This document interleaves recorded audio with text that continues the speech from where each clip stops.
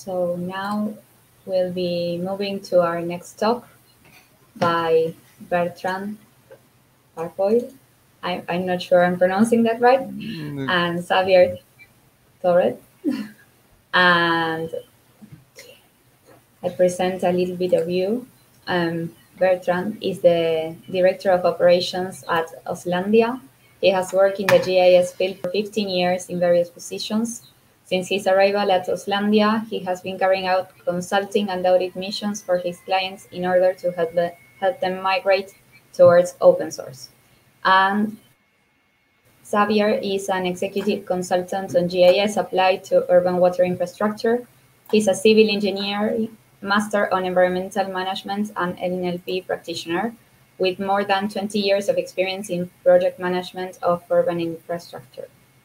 So now I'll leave you to, to give your talk, and we'll see you at the end for the questions. Okay? Okay. Thank Welcome. Carol- No problem. Uh, I don't know if uh, my screen is uh, shut. Yes, great. Okay, thank you. Uh, Sorry for the delay. Uh, Welcome, everyone, and thank you to be here for this presentation about uh, Giswater and open source water management project. Um, First, some words about Oslandia for those who don't know us. Uh, Where are we and where are we speaking from?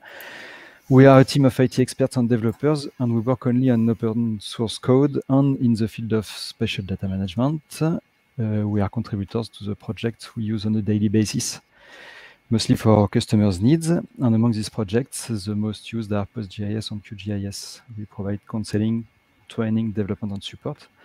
And we do sell custom development in QGIS, core, and plugins. Among our clients, can see well? Yes. Uh, among our clients, several are infrastructure network operators. They have specific needs because they are required to constantly and precisely monitor the location, status, and evolution of their assets. Uh, so we can abstract some generic requirements from their use cases. Uh, first, the data model is, a, is business specific. The data must be topologically, topologically correct. Operators need to align their network with the ground data they get or they can get, depends on the uh, typology of, uh, of uh, where you are. Uh, field operators need simple and usable entry forms. Uh, on the, the network operators, they live in a complex ecosystem and they have to link uh, tools and data for GIS or modeling or statistical use. Uh, so, what are the qualities of good software for uh, those operational needs? Uh, well, first, customization, because each one likes to get its own custom way of dealing with uh, business needs. And some of them enforce different workflows or custom data sets.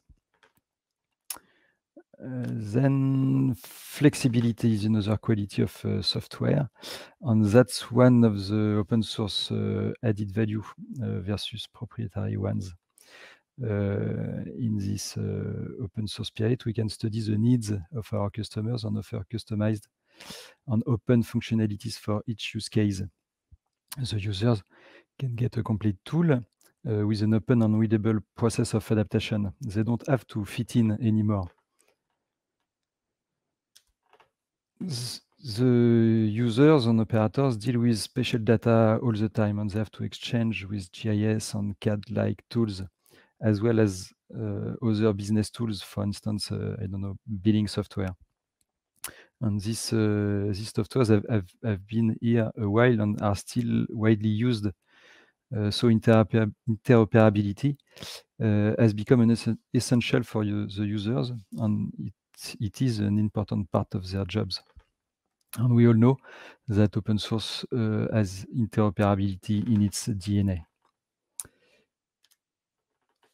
So asset management is nice, but operators will want to exploit the data when they have to move on the ground.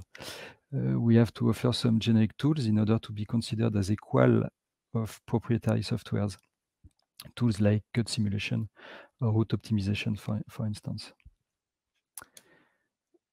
And last but not least, we think uh, that community-based models uh, should work because the GIS functionalities that the, the operators want to, to meet are well known and the open source GIS uh, tools answer them well. The needs are almost identical within the different users we meet.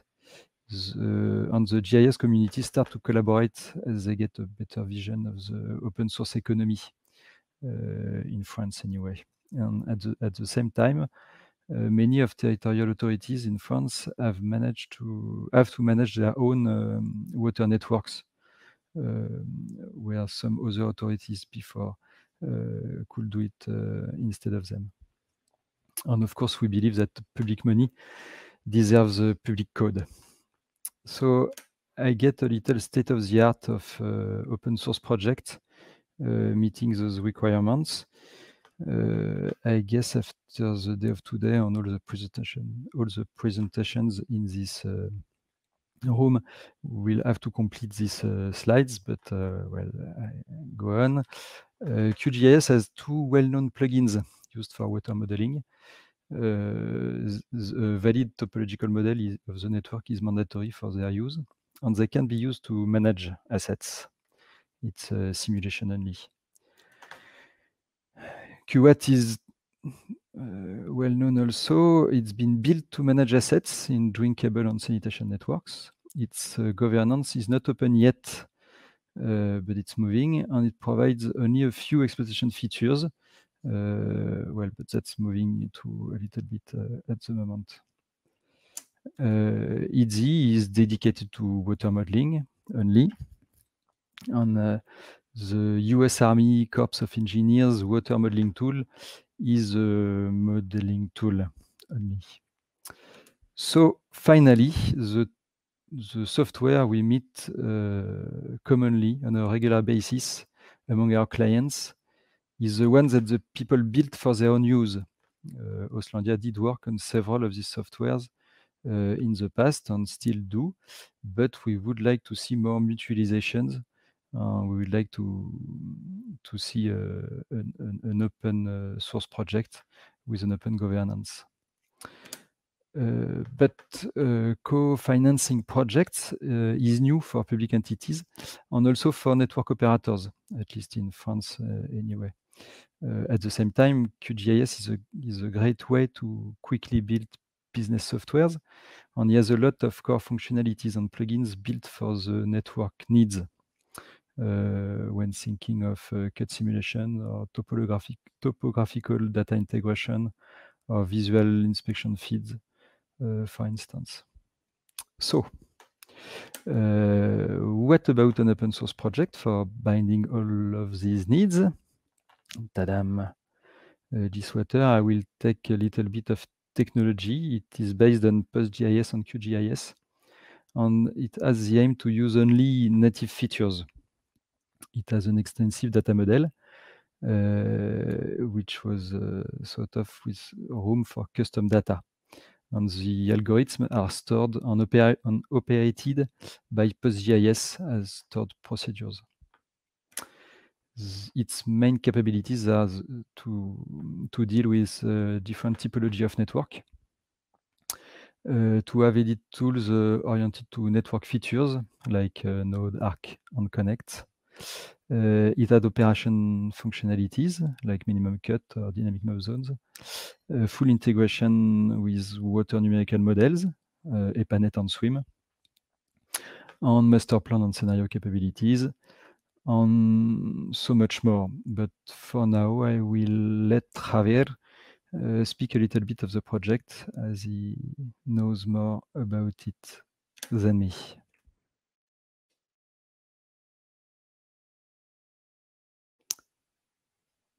Javier. We don't hear you. Ah. Thank you. Still, Thank ah, you, Bertrand. Right. Thank you, Bertrand, for your presentation. Uh, did you see my screen now? Not yet. I'm gonna stop yes. mine. Ah, right. I think yes. Okay. okay. Um, it's for me a, a nice uh, a nice opportunity to to present Giswater Association and Giswater project here on the FOSS4G. And first of all, thank you for being here. Um, Water Association um, it's association uh, done by water utilities, consulting firms, and freelance in order to, to make sustainable that project. No, it's a project focused on water utilities, but they knew they knew uh, sometime before that uh, in order to, to, to create an environment to guarantee the sustainability, uh, they need to build also an association. In fact, it's close to QGIS project association as well. Uh, no? um, it's uh, the association who, who uh, has the governance of the project. Uh, in addition, uh, it's possible to create collaborative projects uh, as well as we had started this month in order to integrate urban drainage models, the uh, 1D model, stormwater management model, and the 2D model, uh, Iber, uh, in order to create a, a, a good model uh, in for urban drainage, joining 1D uh, and 2D. And, and also the, the key point of the association, the key point of the project is to share knowledge. Uh, medium companies and little companies, no? medium and, and, and, little enterprises, they need to share knowledge because if not, it's impossible to survive on these 2021 uh, uh, years because uh, every time, every moment is so difficult to access to the technology in terms of cost. And as a result, uh, to share knowledge, to share technology is a good way to improve uh, their capabilities and their needs. Um, for that reason, that the project was born in Barcelona in 2014, okay, uh, on the scope of the Polytechnical University of Catalonia, uh, the School of uh, Civil Engineering, and uh, at, that, at that time, uh, the vision it was to help water utilities using digital technologies to transform operations and systems sharing knowledge. Here again, share, share knowledge is the key point here. Eh? Um, as a result, uh, on Spain, there are projects in the regions of Catalonia, País Vasco, and Navarra. Also, uh, out of Spain, there are projects on Portugal, Brazil, South Africa, Costa Rica. And for that moment, uh, as, as we know, plus than 8 million served people um, there are lots of companies uh, that now they are managing with Giswater. Um, if uh, you can take a look on, on code, it's uh, the whole code, it's published on GitHub. In fact, in, in, in two main repositories, no? the, the database repository with the whole algorithms and the, the QGIS plugin repository. And as you can see, uh, plus than 25 contributors for the database GISwater uh, repository and plus than 34 contributors for the QGIS plugin. Um, lots of commits uh, involved and, and, and, lots of efforts from, from our starting in 2013, in fact, here. Um, um, in fact, um, this autumn, we have uh, published uh, several uh, webinars and workshops in order to make more affordable and, and, and no, to, to, to get closer to, to the people. In fact, uh, webinars are uh, programmed also as well in English as well in Spanish and the same for workshops. And obviously, uh, everybody is invited to to join that links, to follow us on social media, to and to to request an, uh, a place to attend it. Okay, uh, this is um, a little bit uh, the presentation in terms of, of uh, politics and and social idea. And let me say, let me show you now, um, if it's possible to close this. Let me show, let me show you now a little bit about about the the project. As, as I said, uh, it's uh, a database uh, core, core, core system and a, a, huge plugin. In fact, the plugin has for now No? These toolbars are toolbars of the plugin to manage uh, the full capabilities that Giswater project has. Let me explain you a little bit more. No? Um, as Giswater project is managed by roles, no? each uh, toolbar is uh, related to one specific role. No? In that case, this is the, the info toolbar uh, with a filter and with a, a, a searcher. No? Filter to in order to filter some kind of exploitation, this one, another one, in order to manage uh, several municipal municipalities.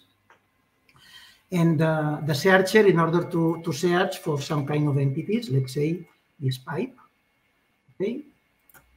And this is the, um, the, the main tool uh, for BASIC. For uh, water operators, it's interesting to manage a flow trace, flow exit, and this button it's possible to uh, identify what is the upstream uh, network from one specific point and with this other button we can check what is the downstream network from that specific point. No?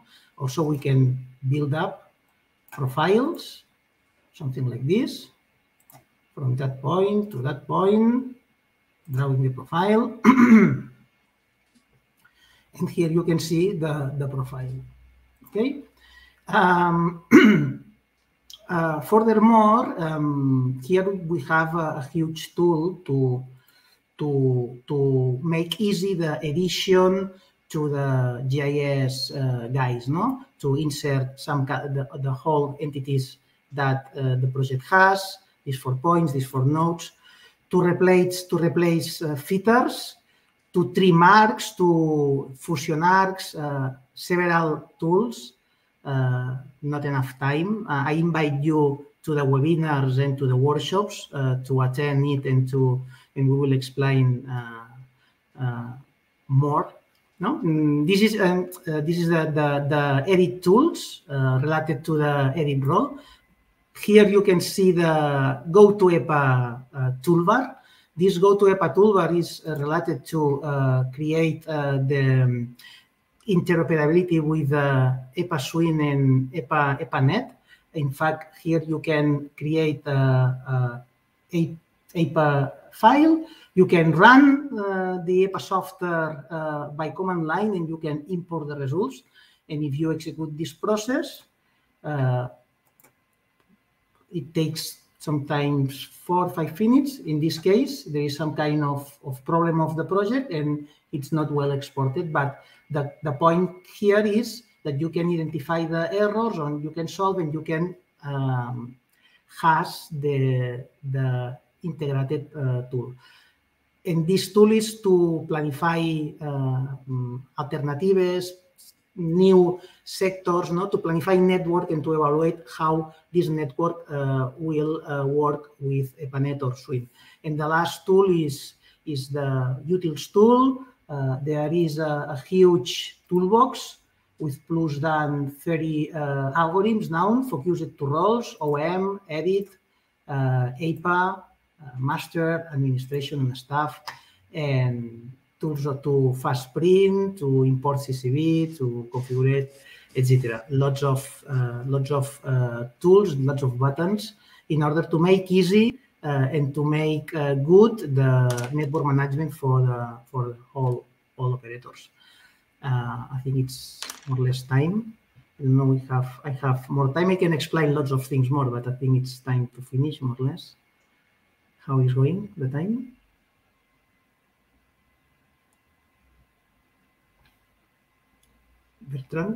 We um, have a little, like five minutes more. It's enough?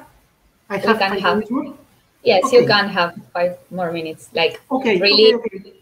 really precise nice. five minutes. Okay, five minutes. Okay, perfect. I will continue a little bit more. Um, let me show you more things about about these these uh, these capabilities.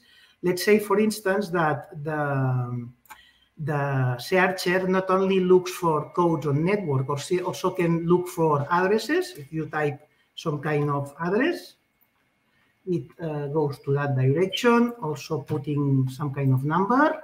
Uh, you can look for your customers, for your hydrometers, no? Uh, let's say, in this case, I think hydrometers are not, are not connected now. Uh, you can look for uh, WORCAT, some kind of uh, no, work, work catalogs for space sector management or also for, for visits, for leakage and stuff. No?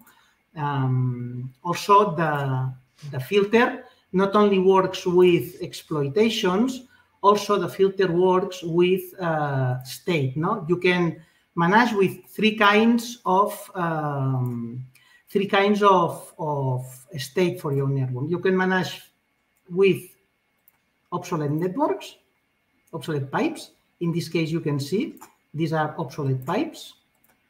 And you can also work with, um, these are obsolete. You can also work with on service.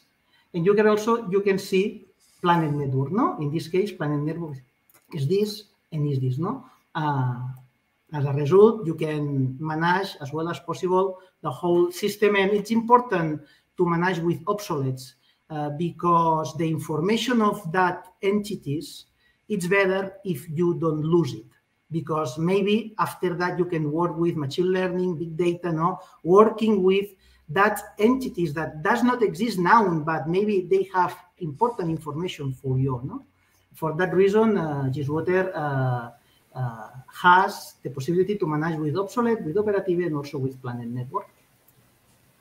Um, another interesting characteristic is that uh, it's possible to manage with hydraulic sectors, no? Um, as you can understand, it's not the same, the exploitation that a hydraulic sector, no? The exploitation is like the, the administrative EMAT zone, no? The exploitation is uh, my customer has the network and I need to manage it.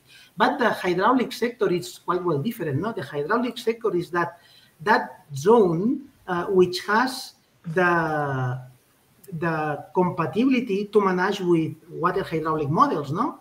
Uh, on that zone, uh, in terms of EPANET, for instance, uh, it's mandatory to have a, a, tank in order to supply water.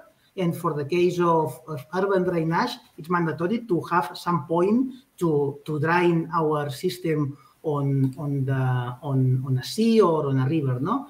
And as you can understand, the hydraulic sector is not the same that the exploitation. And for that reason, uh, water managed uh, with both. Um, but not also with this. Also, uh, you can manage uh, looking for um, hydraulic uh, issues. You can manage with different scenarios, uh, no, modifying some kind of demands or some kind of diameters on some kind of boundary conditions. And, also, sorry, we need some a little bit of time for questions. Okay, perfect. Can we move on? Okay, thank you very much. No problem. Sorry to interrupt. Um, what's the advantage of using Giswater from an engineer perspective?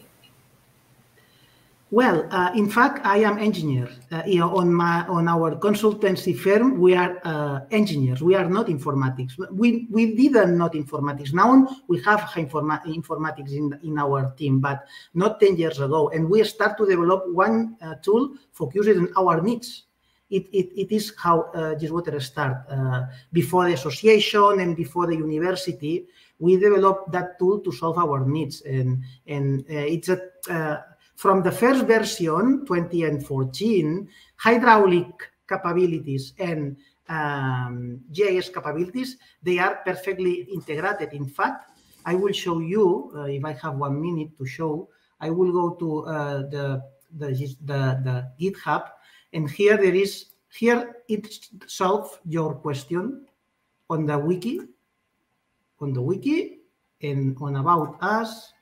Here, big. What makes Giswater powerful managing EPANET or SWMM? Here you have the URL, and here you have the seven advantages to use Giswater integrated with EPANET or with a stormwater management model. Uh, this Great. URL uh, solve, solve your question. Very complete. Um, we have a couple more. Okay. Sorry?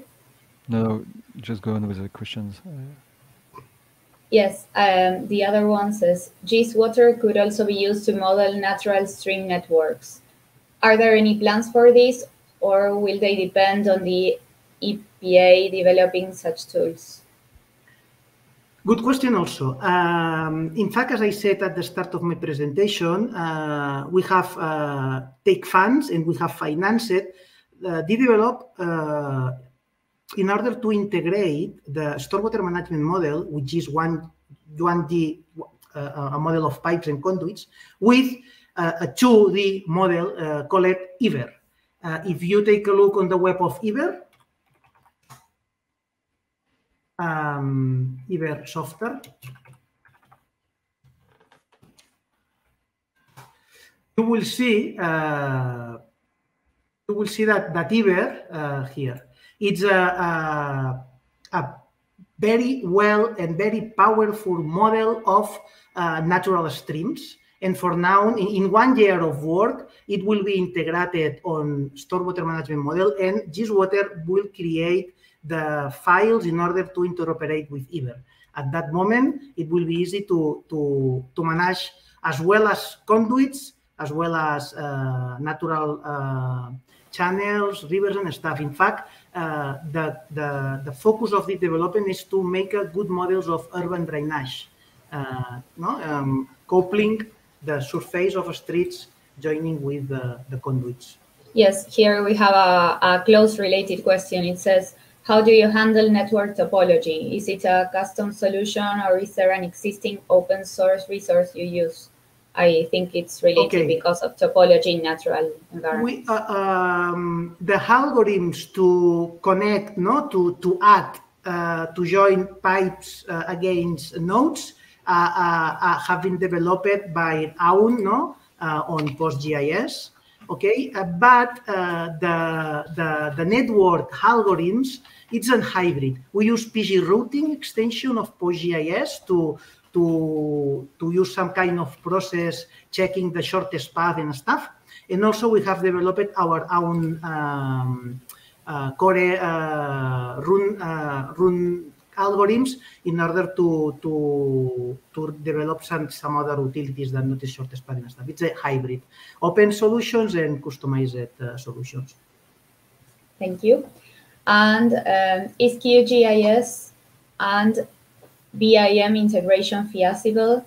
Have you found any serious constraint trying to integrate GISwater as a BIM into QGIS? What about the future needs? Wow, big question. The integration with BIM, it's it's defined, the, the, the workflow is clear, but need to be financed.